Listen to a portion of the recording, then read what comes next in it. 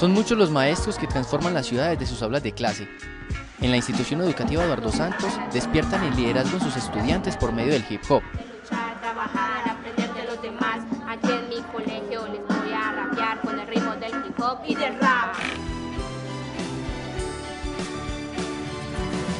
Y la profe Catalina, en la institución educativa Dinamarca, trabaja para que sus estudiantes crean en sí mismos y moldeen un mejor futuro nuestras historias de esta semana en Maestros para la Vida.